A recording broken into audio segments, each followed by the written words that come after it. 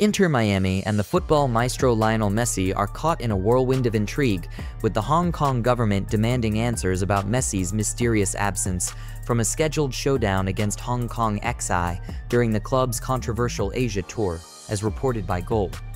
While Messi supposedly nursed an injury, tongues started wagging when he miraculously reappeared just days later, kicking the ball around in a friendly against Vissel Kobe in Tokyo. Now, the Hong Kong officials are knocking on Inter Miami's door, demanding a reasonable explanation for Messi's sudden resurrection in Japan. The plot thickens as the government expressing its disappointment questions the timeline of events, throwing shade with a statement that goes, However, three days later, Messi was able to play actively and freely in Japan. The government hopes the organizers and teams can provide reasonable explanations. Fans aren't taking this sitting down either. Over 40,000 spectators, some who splurged big bucks for tickets, felt cheated.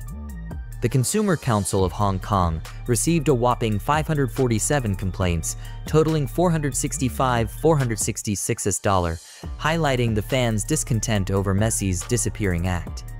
With Chinese supporters feeling like they've been hoodwinked and Inter Miami struggling through a rocky preseason, tensions are high.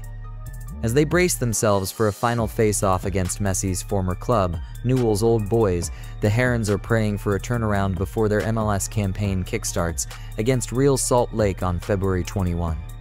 But with the Messi saga swirling around them, their journey to redemption just got a lot more complicated.